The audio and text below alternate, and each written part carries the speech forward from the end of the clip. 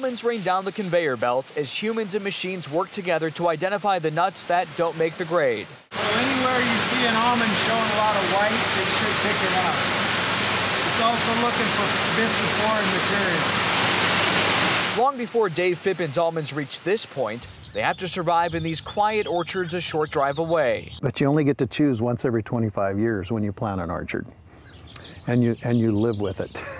Rows of almond trees highlighted in green that, when you look closely, give reason for some growers to feel encouraged about the crop to come. When we look at this limb right here, we see a lot of possibilities. We see some very large almonds that are broken their jacket. Large almonds, Dave and other farmers assume will stick to these limbs and mature, but the gamble is in these much smaller almonds. We also see some little guys like this one right here.